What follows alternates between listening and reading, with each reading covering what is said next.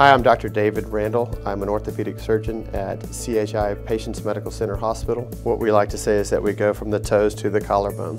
Uh, I do fracture care, we do sports medicine injuries. I focus on joint replacement and so I do a lot of hip and knee replacements, but we also do rotator cuff work, shoulder surgeries, um, fracture fixation. I'll fix clavicles, collarbones, uh, wrist fractures, ankle fractures. We, we don't use IV opioids so much anymore. We come at patients' pain with IV Tylenol, Tramadol, uh, Celebrex, things that don't make them obtunded. They can get up, they can do their therapy, they're awake, they're alert. We use a lot of blocks. Patients are incredibly satisfied with the experience of going through a hip or knee replacement these days compared to how they were 10 years ago. You know, I work with Baylor St. Luke's Medical Group.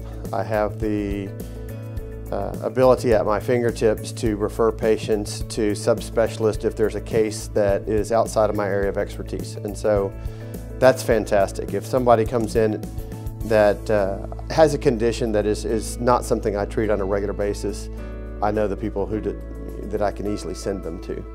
Cuando practica en Pasadena necesita hablar español y hay muchos tiempos, hay mucha gente quien solamente habla en español y no necesito usar a alguien quien viene al cuarto para explicar todo inglés y entonces otra vez en español. And so it's nice to speak Spanish. I like to relate to uh, the patients directly, not have a translator.